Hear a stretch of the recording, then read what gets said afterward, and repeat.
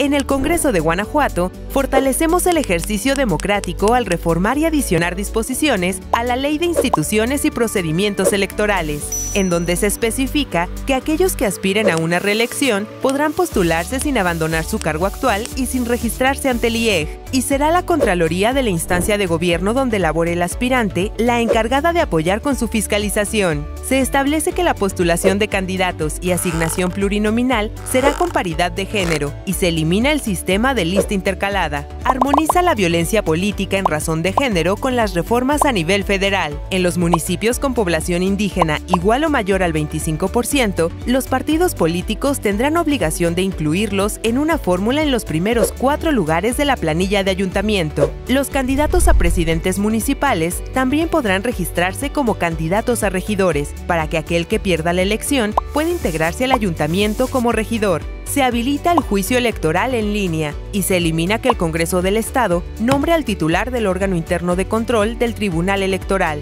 Se incluyen las reglas para aplicar la proporcionalidad y reducir la brecha de sobre y subrepresentación. Las diputadas y diputados del Congreso de Guanajuato le decimos sí a la democracia y la inclusión. Sexagésima cuarta legislatura, Congreso del Estado de Guanajuato, la Casa del Diálogo.